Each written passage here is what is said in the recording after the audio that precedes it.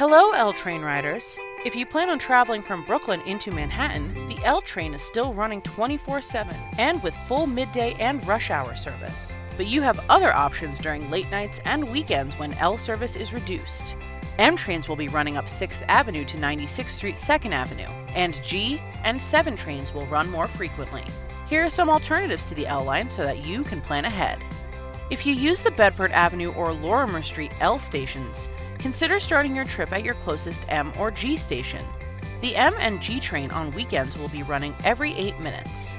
Between the Hewes Street and Lorimer Street station on the J and M line, and Broadway on the G, we will be offering free transfers. You can also take one of the new free Williamsburg Link buses to get to the M and G lines. These buses provide connection between the Bedford Avenue L, Metropolitan Avenue Lorimer Street GL, Marcy Avenue JM, and Hewes Street JM.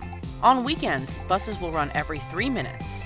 Between DeKalb Avenue and Lorimer Street, consider starting your trip at your closest M station. You might also consider taking the G and switching to the 7 line at Court Square. From Bushwick Avenue Aberdeen Street L station to Myrtle Wyckoff Avenues, transfer to the M line at Myrtle Wyckoff for service into Manhattan.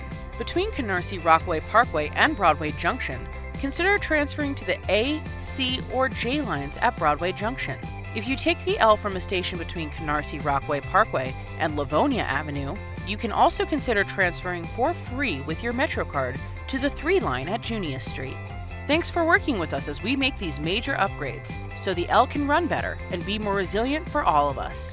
For more information, please visit our website new.mta.info slash L-project or tweet us with the hashtag L-project. And make sure to check out our other videos for additional routes and travel advice.